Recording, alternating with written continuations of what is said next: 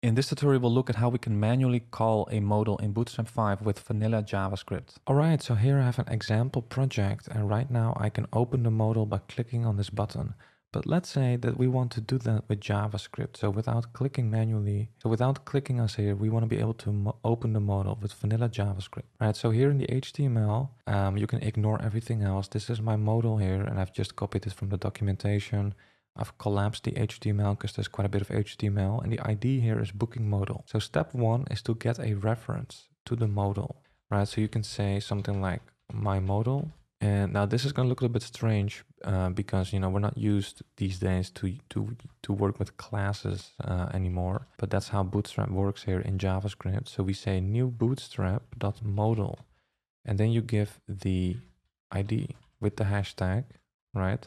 So then we have a reference to my modal and on this variable you can call these methods. So for example, what we could do is maybe we want to show the modal when the page loads, right? Or maybe, you know, after let's say two seconds.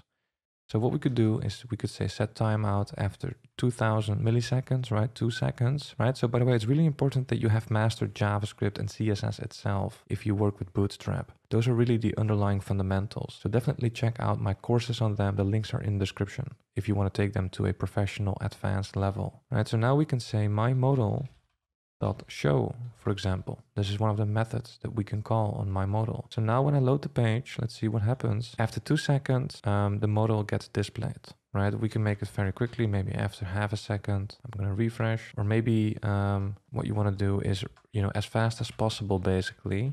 So what you can do is you can listen for the DOM content loaded event. When that event occurs, we're going to run this function and in the function we only do this, right? Show. So now as soon as possible, it's gonna show the modal.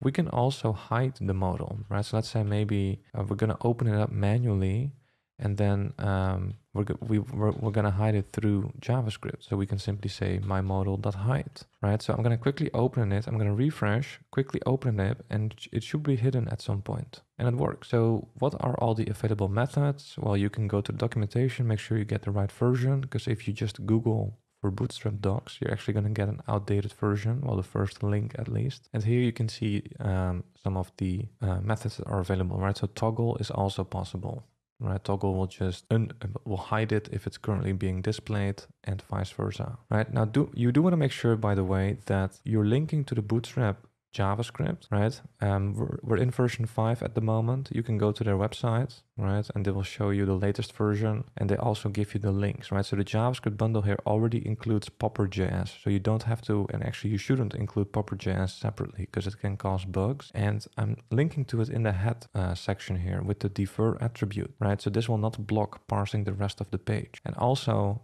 I'm linking to my own script after the, the, the bootstrap script, right? So then in my own script here, this bootstrap thing is available to us, right? Because this is the script that creates it in the first place, right? And I'm also using defer here and defer respects the order here, right? So it's really important that you have mastered JavaScript, also CSS, um, when you work with Bootstrap or, you know, with front end in general, definitely check out my courses. The links are in the description. By the way, if this was helpful, I'd really appreciate it if you could like and subscribe. Also, check out my courses on CSS and JavaScript if you want to take those skills to an advanced level. Because in there, we will build some beautiful real world projects from scratch so you can see how everything fits together and really master CSS or JavaScript. And I will also release other courses soon like React and Node.js. So if you want to be notified, then make sure you are subscribed to the email newsletter. You can find the link in the description. Thanks for watching and I hope to see you soon.